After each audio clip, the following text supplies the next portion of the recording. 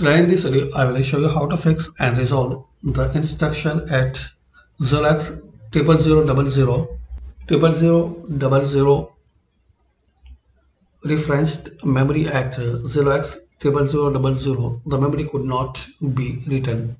So guys to resolve this problem just follow some easy steps. Firstly click on start. Now here type msconfig click on system configuration. Now here select services.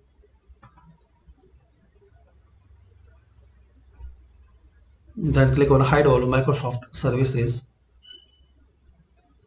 Then click on disable all.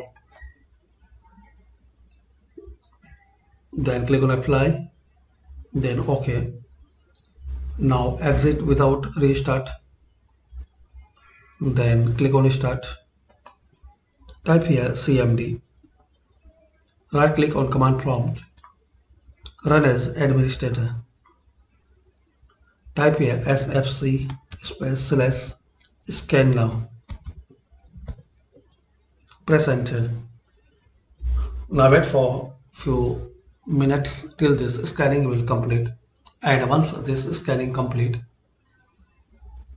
close it and restart. Hopefully guys after restart you can fix and resolve the instruction at 0x 0000 referenced memory not uh, written problem. So thanks for watching and please comment this method work for you or not